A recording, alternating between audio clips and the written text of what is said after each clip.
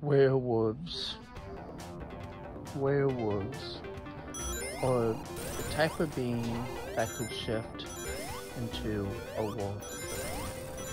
It's not during full moon, it's all the time. Shapeshifters, by any way, shape, or form, can shift into any being, any animal that they want.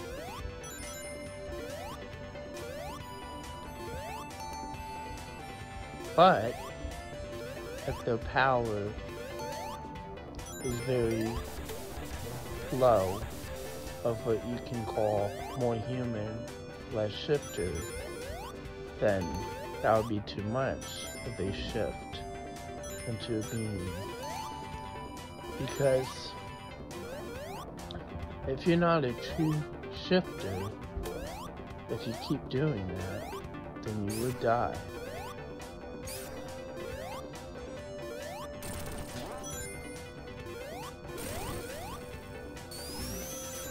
Which is they form as a group and they do a special chant during the day. Done correctly, all the vampires will come out during when the sun is out and they turn to dust into a blood may. The more older they will become, the more part of the body used to function where they used to be human. You see, they'll form towards a puddle and they evaporate. But if they're millions of years old, they'll just turn to dust. Which is also due we kidnap children